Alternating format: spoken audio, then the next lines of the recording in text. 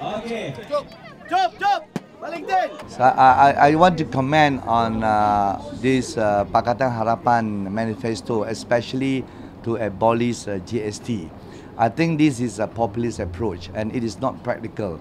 But all of us know that GST is the most efficient tax system in the world. More than 160 over countries uh, using GST tax system.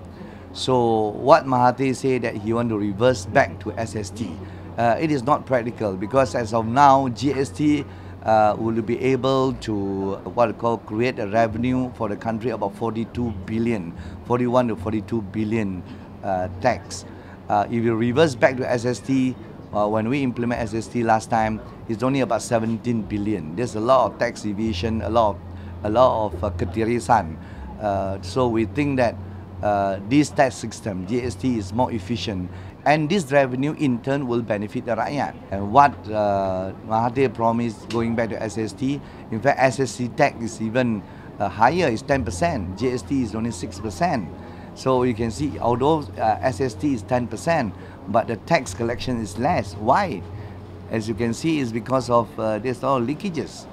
Whereas uh, GST is only 6%, but we can collect about 42 billion. So instead of SST, it's 10%, but there's still a lot of uh, tax uh, eva evasion and uh, is inefficient, and that's the reason why uh, there are many countries not implementing SST anymore. People are moving to GST because it's an efficient tax system. So I must emphasize that so rakyat know, uh, don't get uh, what they call uh, uh, poison uh, by the Pakatan Harapan Manifesto.